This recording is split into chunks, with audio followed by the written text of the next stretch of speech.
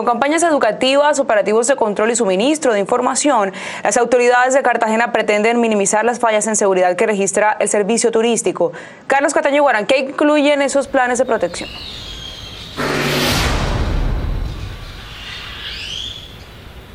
Alejandra, muy buenas tardes. Pues es un plan integral de protección de los turistas que incluye información, que incluye algunas restricciones, vigilancia, pero también una herramienta represiva contra quienes atenten o contra los turistas o contra esta actividad. La protección esencial es la integridad física del visitante. Por eso se incrementó el número de salvavidas y se duplicaron los controles en las playas. Hoy, con el alcalde, hemos decidido fortalecer todo el esquema de seguridad durante el periodo vacacional otra acción preventiva la ejecuta la Policía de Turismo, que informa sobre la lista única de precios para evitar especulación. El turista debe solicitar la carta o los precios antes de consumir cualquier producto. A esa tarea de vigilancia también se sumaron algunos servidores del turismo playero que recrean y cuidan el bienestar de los bañistas. Nos encargamos por lo menos si vemos alguna normalidad de participársela a las autoridades y siempre estar pendiente de las personas que nos visitan.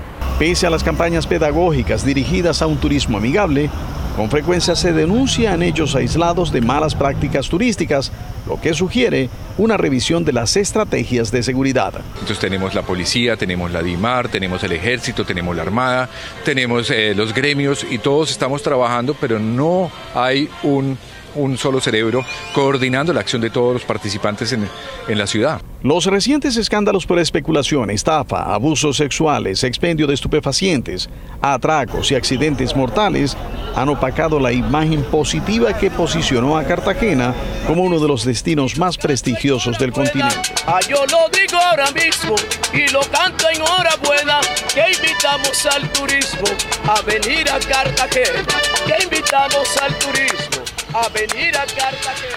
Y ese paquete integral de seguridad turística no solo se está aplicando con rigor en Cartagena y su entorno insular, sino también en eh, otros atractivos turísticos muy cercanos donde hay riesgos para la seguridad de los visitantes. Por el momento es toda la información desde Cartagena. Carlos Cataño, Iguarán Noticias, Caracol.